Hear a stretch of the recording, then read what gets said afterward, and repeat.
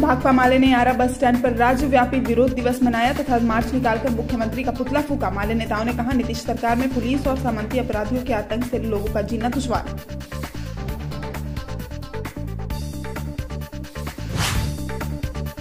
आरा के चंदवा गाँव से नगर निगम की टीम ने पाँच लंगूरों को पकड़ा। लंगूर के आतंक से स्थानीय लोग थे परेशान। रविवार को दो घंटे तक चंदवा के ग्रामीणों ने किया था चंदवा सूरज मंदिर सड़क जाम, पहुँची थी पुलिस।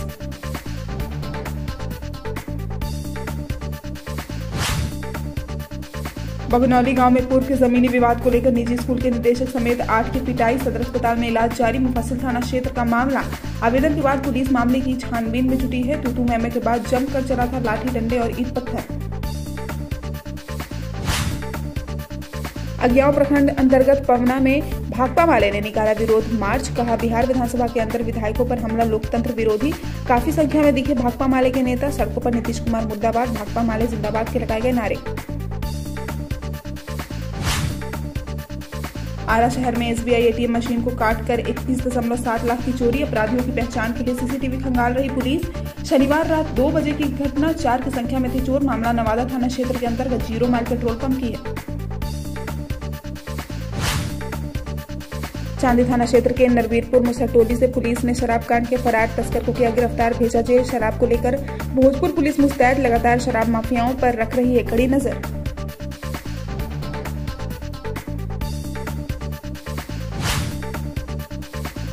भोजपुर में वाहन का रफ्तार का कहर जारी। नहसी गाँव के समीप सड़क हादसे में तीन हुए जख्मी में दो युवकों की मौत। एक ने पटना ले जाने व दूसरे ने पीएमसीएच में इलाज के दौरान तोड़ा दम। बुआ के घर गढ़ानी थाना क्षेत्र के बंगवा जन्मदिन में शामिल होने जा रहे थे दोनों युवक। सरपोखरी थाना क्षेत्र के एक गाँव में एक नाबालिग की जबरन उम्र युवक से शादी कराए जाने का मामला पीड़ित पहुँची कोर्ट कहा, हम नहीं करना चाहते हैं शादी, परिवार पर लगाया आरोप।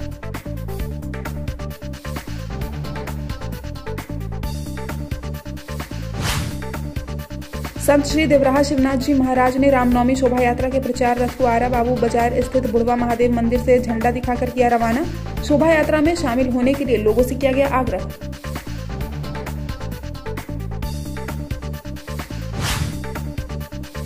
बढ़ारा प्रखंड अंतर्गत कृष्णागढ़ थाना पुलिस ने अलग अलग गाँव में छापेमारी कर 500 लीटर अर्धनिर्मित जमा हुआ, शराब को किया नष्ट, तस्कर फरार। बढ़ारा थाने की पुलिस के पकड़ से बाहर है शराब माफिया। यहाँ के लोगों ने कहा, पुलिस सिर्फ़ शराब खोज रही है, माफियाओं को दे रही है संरक्षण। खबर को अगर YouTube पर देख रहे हैं तो चैनल को सब्सक्राइब कर घंटी को दबाइए। फेसबुक पर देख रहे हैं तो पेज को फॉलो लाइक और वीडियो को शेयर कीजिए। और भोजपुर ज़िले के तमाम खबरों को सबसे पहले अपने फ़ोन पर पाने के लिए प्ले स्टोर से भोजपुर न्यूज़ ऐप को इंस्टॉल कीजिए।